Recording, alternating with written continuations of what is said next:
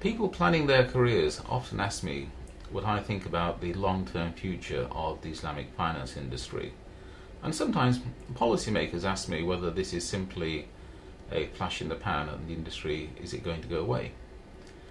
I think the best way to answer that question is first of all by looking at the industry as it is today. Worldwide, Sharia compliant financial assets are about seven or eight hundred billion dollars.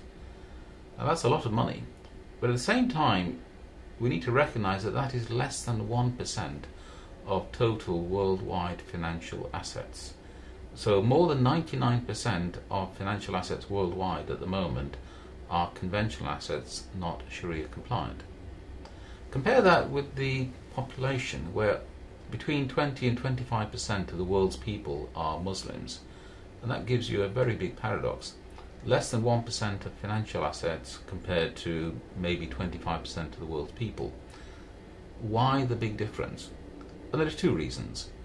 First of all, Muslims on average are poorer than non Muslims. We have Western Europe, we have North America, we have Japan, major economies, high income per capita, relatively few Muslims. Compare that with countries like Indonesia, Bangladesh, Pakistan, some of the countries in Africa where you have large numbers of people and relatively low incomes per head. So one reason for the difference is simply lack of financial wealth in the Muslim world as a whole. The second reason is that historically most Muslims have been happy to conduct their financial transactions without having Sharia compliant finance. Both of those trends are changing. All around the world, more and more countries are following what I would regard as sensible pro growth, pro business economic policies, liberalizing their economies, improving investment in education so that there is more economic growth in the Muslim world. And gradually, I forecast that the Muslim world will start to catch up with Europe, North America, Japan in terms of income per capita. It may take decades to achieve, but it's a very long term trend which I see continuing.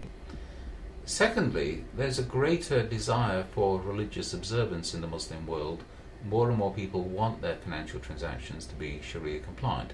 If we look at Indonesia, a few years ago, less than 1% of banking in Indonesia was Sharia compliant. I was there in March of this year, and at that stage it was reported that about 5% of the Indonesian banking system is now Sharia compliant. While that means that 95% is still conventional, 5% is a great deal more than the 1% that applied only two or three years ago. In my view, the industry is in a long term growth trend as that figure of less than 1% of global financial assets moves towards the 25% of world population number.